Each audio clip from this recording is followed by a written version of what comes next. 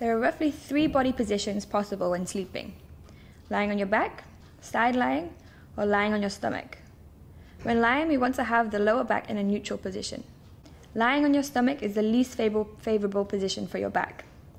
Lying on your stomach forces your lower back to curve too much, which can result in pain. When sleeping on your back, the same problem can occur. In order to prevent the lower back from curving, a pillow underneath the knees can be used.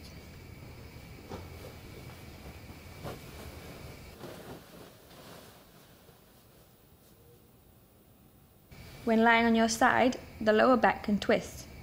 A great way to prevent the lower back from twisting is to use a pillow between the knees and under your arm.